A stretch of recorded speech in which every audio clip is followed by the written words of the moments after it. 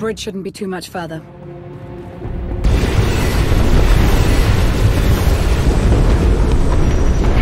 I thought spice hit finesse! This cannon wasn't made for two people. Just move!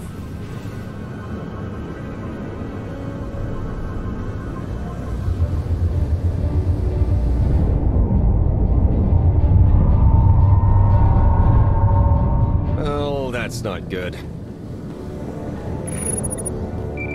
What now? I've got good news and bad news. Which do you want to hear first? Theron, we don't have time. I'm an optimistic guy, so we'll start with the good. Arcann's fleet has stopped shooting at us. And the bad? They're about to fire on you. Oh, and the Omni cannon's broken. Not my fault. This was Scorpio's plan all along. Get you and Arcann in one place to kill you both.